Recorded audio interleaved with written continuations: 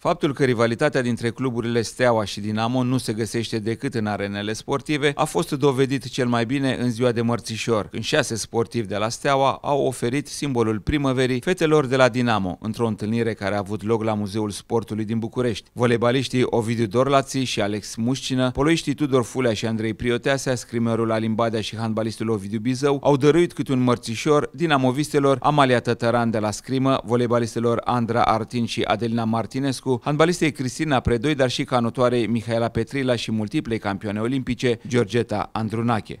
O întâlnire super frumoasă, pe lângă faptul că de obicei ne cam întâlnim în sala de sport, acum sunt foarte bucuros că am reușit să, să-i ofer un mărțișor și cu această cale să, să aibă primăvară drăguță. Ai primit uh, multe mărțișoare la viața ta sau ai ratat ocazii fiind în uh, cantonamente și concursuri? În perioada în care eram uh, acasă la satul mare am primit mai multe. Acum majoritatea timpului sunt în cantonamente plecată și nu am parte de foarte multe mărțișoare. Da, foarte frumos. Felicit această inițiativă. Nu mă așteptam ca cei din partea clubului Steaua să ne invite la un mărțișor. Ai cumpărat multe mărțișoare de 1 martie? Uh, deocamdată n-am apucat încă să cumpăr, dar uh, voi cumpăra cu siguranță. Deocamdată am venit pregătit doar pentru fetele de la Dinamo. E o primăvară frumoasă când primești mărțișoare?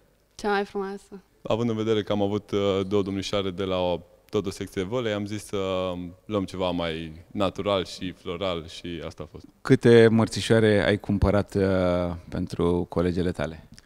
Deocamdată ăsta a fost primul, urmează acum să mă duc să cumpăr și pentru restul. Ai primit multe mărțișoare astăzi? Uh, deocamdată nu. Este primul? Este primul, da.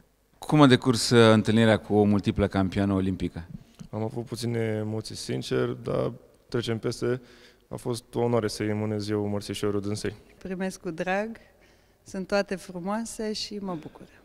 Aveți vreo preferință, vreun simbol care vă aduce noroc, trifoiul cu patru foi, coșarul? Nu, doar trifoiul cu patru foi și recunosc că doar în perioada în care am fost sportivă vânam acest trifoi cu patru foi, acum le am la colecție. Nu puteam să intru în competiție dacă nu aveam trifoiul. După o astfel de întâlnire între performerii celor mai titrate cluburi din România, primăvara sportivă, aducătoare de medalii, poate începe.